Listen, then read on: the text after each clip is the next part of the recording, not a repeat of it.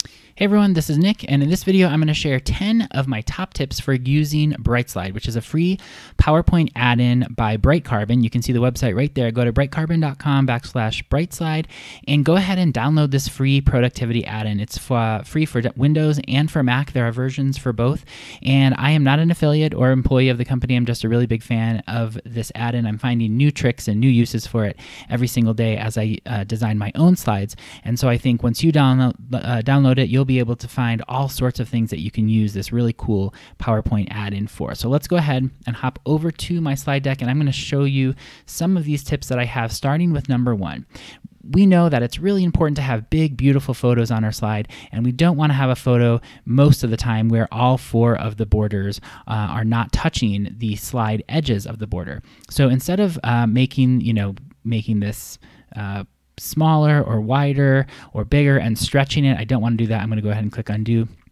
so that it gets to the original resolution. I really just want to put it right to the background of the slide. All I need to do with BrightSlide, go to the BrightSlide tab up here on the ribbon, and then click on the photo, and then click on Match Size. Once I do that, it's going to crop the photo to the background of my slide, uh, or crop the photo to the size of my slide, and I can actually, just like any other photo, when I'm cropping here, I can adjust the crop area by just dragging it, and then go up to the Picture Format tab and click uh, crop, and then now you have a really big, beautiful photo uh, that matches the size of your entire slide. Super cool.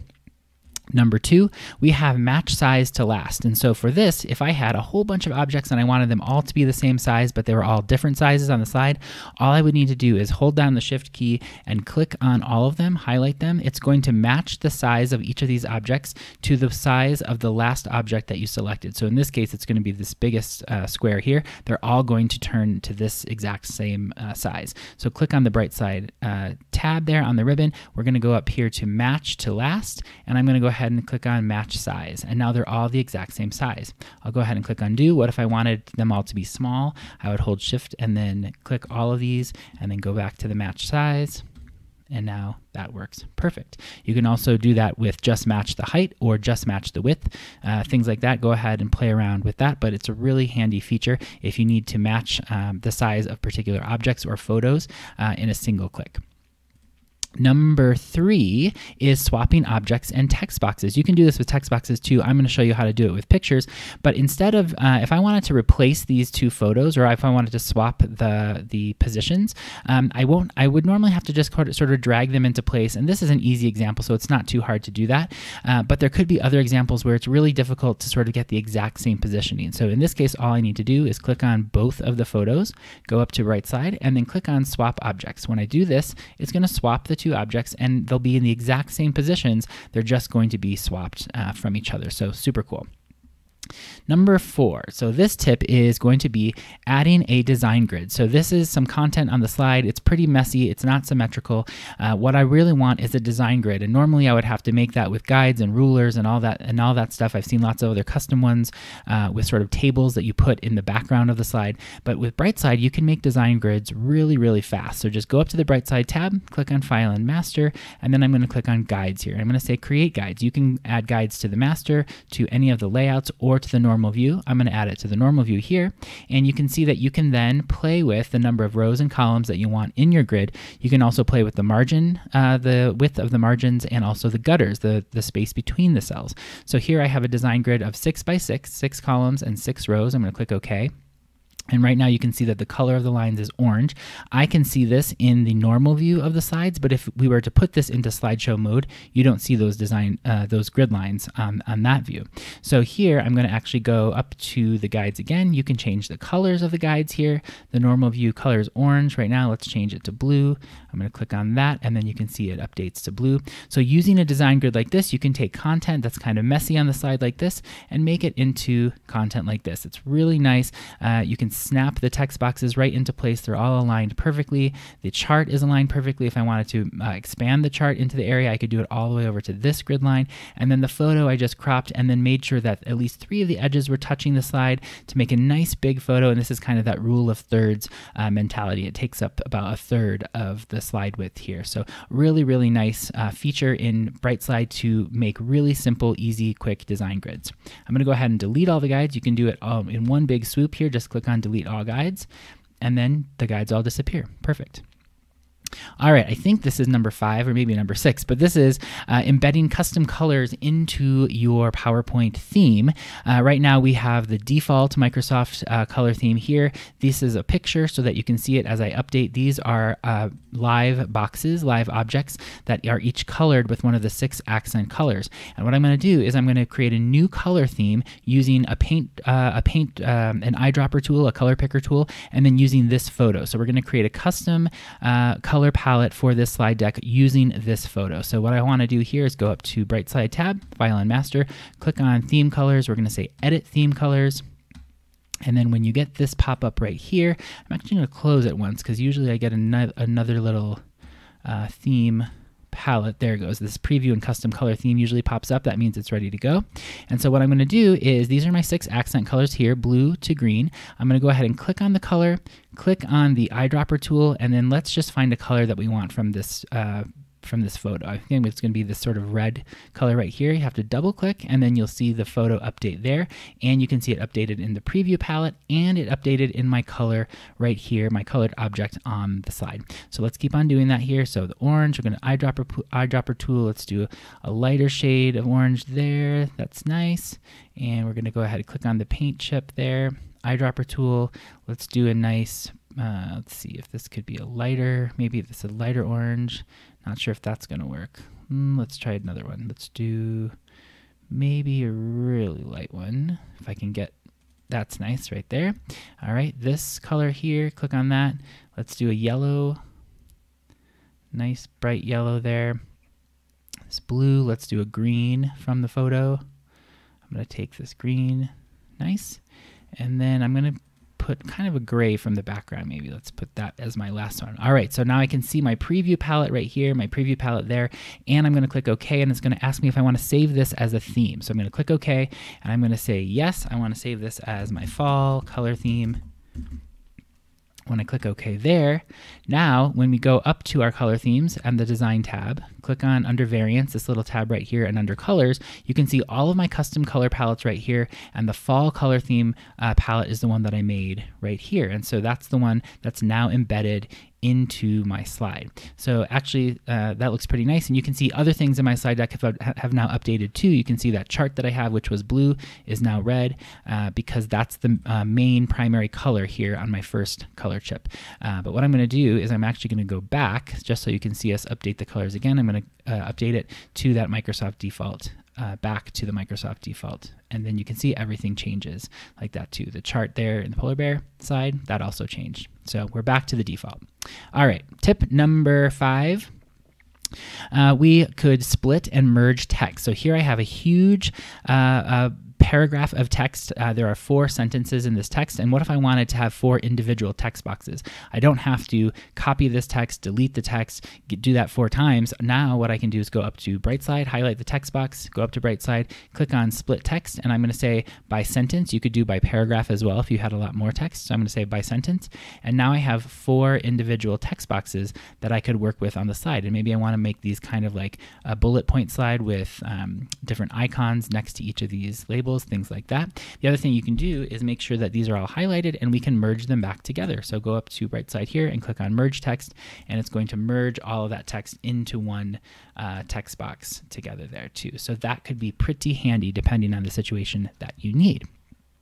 All right, our next tip here is an instant waffle chart. So just like you could split text, you can also split shapes and pictures and graphics. So here I have one giant square and I want this to turn into a waffle chart of, of 10 rows and 10 columns, so 100 little squares. So all I need to do is highlight this box, go up to the split and align tool on the BrightSlide tab, and then it's going to go ahead and give me a waffle chart. Now I've already used this uh, 10 by 10, so but you can update this to say like I want it to be uh, eight square, you know, eight rows by eight columns, and it'll give me that many um, uh, squares. It's just basically turning one giant object into mini miniature versions of the same object. So we can do this with icons here. I have this pie chart icon here that I've sized to fill the area that I want. And then let's go to split and align. And you can see it gives me the what I did last, which was 8 and 8, but I want 10 by 10. So I'm going to go up 10 by 10.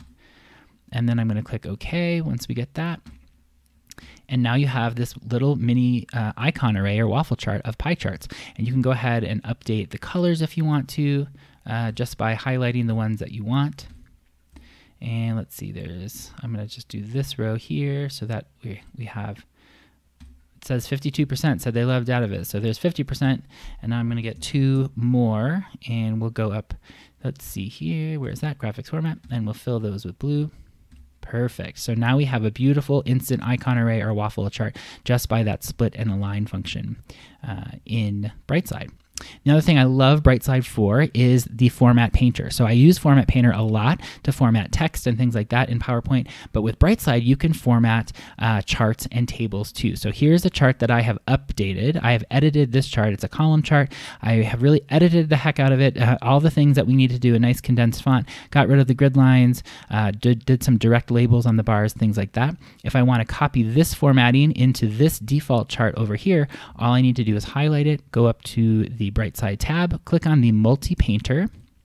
The little paintbrush icon pops up so you know it's ready. And now we're going to click on the chart and it's going to do some work. And now it's going to be exactly formatted exactly the way uh, that I wanted it to here. And the multi-format uh, multi painter is still activated. So if you had multiple charts on the slide and you wanted to do that with several of them you could continue to click on each of those charts and it would update the formatting.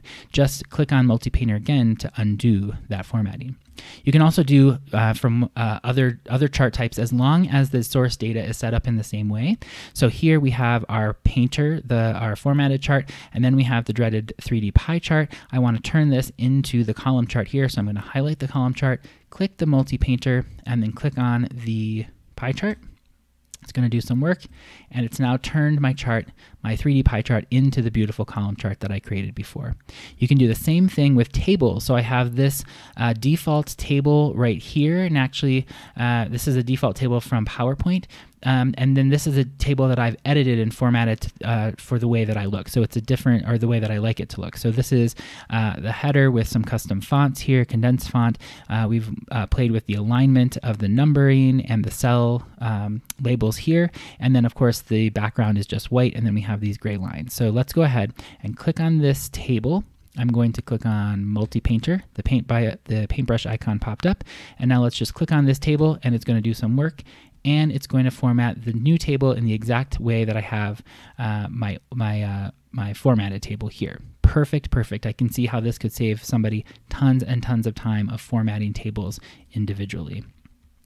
All right, number nine. This is number nine. This is text to outline. So this is just a text box here with kind of a fun custom font. But what if you had to present a presentation on a computer that uh, didn't have the same fonts that you have? You can actually use text to outline to fix that. So what this is going to do essentially is turn this text into a bunch of shapes so that they will show up the same wherever you are. One caveat to this is you need to make sure that your text is totally perfect and finished because you can't edit the text afterwards. But there is a little bit of a trick that I'll, that I'll show you right here. So what you need to do to do this is click on the text box that you want uh, to turn into a shape or to outline. Go to the Legacy Tools drop down here and then click on Text to Outline. When you do this, you'll get a couple different options. You can keep um, the text where it is and move it off the slide. You could keep and hide the text box or you could just replace the current text with a shape. I'm going to say keep and move off off the slide, and I'll show you why. So when I click OK, this is now not a text box. This is a shape. These are all shapes. And if I wanted to recolor them, I could recolor the shapes, or I could recolor the text to a different shape, things like that. But I cannot, you can see I'm clicking in here and I cannot edit this. I could crop it if I wanted to, like any other photo or object, but I can't uh, work with the text anymore. It's now a complete shape, so it'll show up the same on any machine. But you can see right here, since I said keep and put off to the side, it will give you a copy of the text in a text box off to the pasteboard of the slide. So if I ever really wanted to go back and edit this, I could just delete this or I could update the text here and then I could swap these two. I could go back and then put this text back back to outline two. So I'm going to go ahead and delete that. The other thing that you could do, if you didn't want to do it with just one text box, you can do it with the entire slide deck. So with nothing highlighted, I'm going to go over to the BrightSlide uh, tab, go to the Legacy Tools, click on Text to Outline, and now since I didn't highlight anything, it's going to give me this Text to Outline dialog box, and it's going to ask me if I want to replace all of the fonts within the deck. And it gives me this drop-down list of all the different fonts that I have in my slide deck here, and I could say, I want you to replace all of the Gibson fonts with the shapes, the text to outline, or I want to replace all the Franklin Gothic medium condensed fonts with the shapes. This is a super thing to do if you're going to a conference and you don't need to do any more edits on your slide. You can keep your custom brand fonts uh, intact and you don't have to be uh, stuck with using Calibri or Arial, something that everybody has. So go ahead and, and use that trick. It's pretty cool. Okay, and then the very last trick, number 10, the color contrast report. I love BrightSlide for this. All you need to do to generate a very quick uh, color contrast report to see which colors in your theme palette will pass or fail the minimum color contrast uh, ratio, color ratio guidelines, just go to the theme color dropdown and then click on color contrast report. It's going to pop up uh, a new slide with a table of those color combinations that pass and the color combinations that fail. And so you can kind of get a look of that here here of the pass, it's okay to put white text on the black uh, box right here. It gives you the minimum is 4.5.1, uh, 4.5. That's going to need to show up here in order for it to pass. Um, and you can see the um, the white text will work on this uh, shade of gray here and our big blue right there, but it doesn't work on uh, white text doesn't work on our orange or gray, yellow, um, this blue or this green. So Microsoft should really think about some of those things when they're designing these default uh, color palettes. All right, so I hope that you enjoyed watching this video. I definitely enjoyed making it for you. It was a long one, but BrightSlide is so cool. I hope you'll go and download it, brightcarbon.com backslash brightslide. Definitely check it out. Uh, I hope if you like this video, give it a thumbs up and definitely hit the subscribe button. Tap the bell next to it to get notified every time I make a new data design tutorial in Excel, PowerPoint, or Word. I hope you all have a great day and I will see you next time.